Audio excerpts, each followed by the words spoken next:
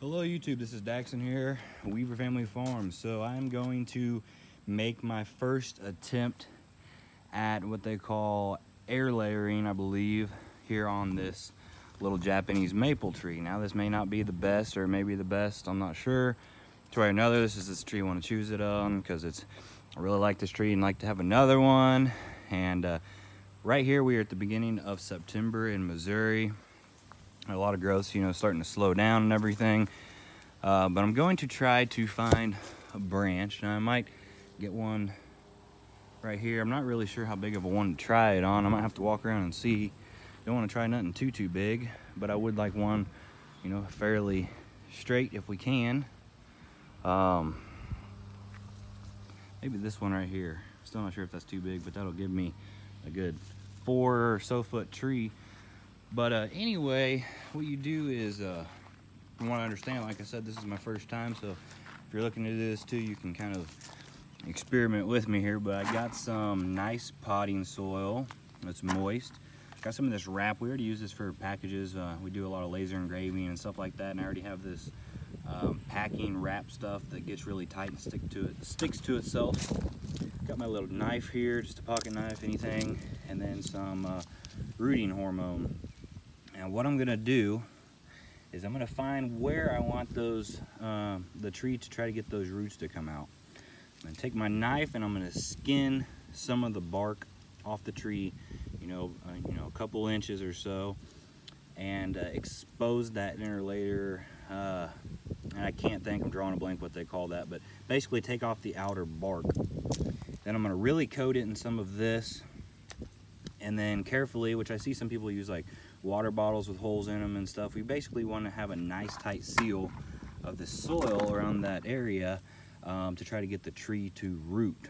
I'm using this, you want to use something clear so you can, you know, see the roots. And I'm going to try to hold that soil on there and take this and wrap around the tree. And I'm going to kind of show you each step as I do it. So first thing I'm going to do, and I'm going to have to pause this while I do it. It's going to take two hands.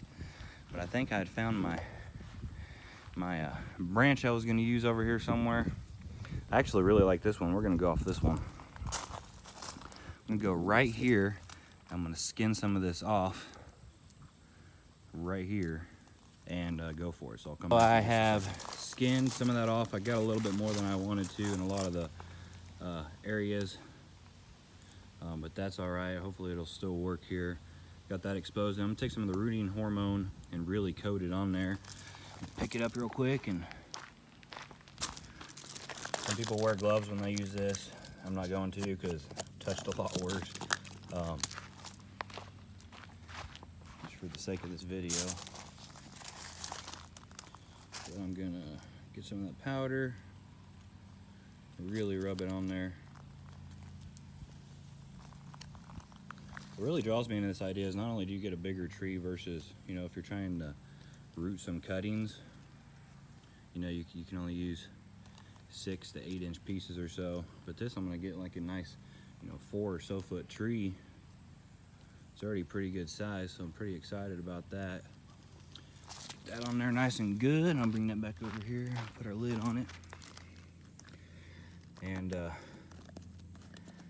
but also you want, you shouldn't have to really water this or anything, you know, because the tree's already getting water from its roots and sending it up, and then it, we're gonna try to encourage it to grow new roots there through the soil. Now, try this very carefully, make sure the soil is really packed around that area and then wrap the heck out of it with this material right here and see where we get. I'll come back. Uh, hopefully I'm uh, uh, have uh, good luck with it. Successful trying to get that on there. All right, so a little easier said than done and I didn't get near as much dirt as I wanted to, but I do have some of that nice moist potting soil in here and I wrapped it really good. There's, I don't know, a few fingers.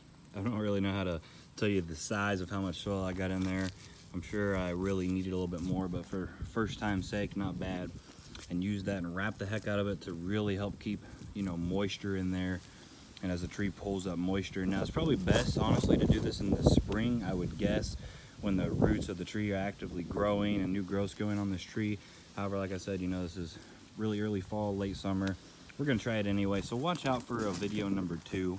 Hopefully we end up getting roots here uh, might take a month, two months, then we should be able to cut it right below you know, right here, have roots, and then this piece right here will be our new tree. A really nice uh, selection, hopefully, but I'll make a video number two. Like I said, it'll be a while.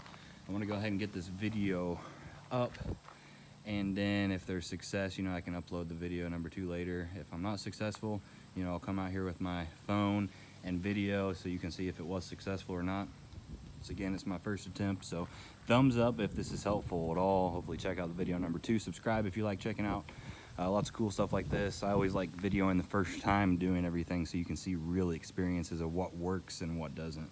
Uh, so thanks for watching. See you later. Bye bye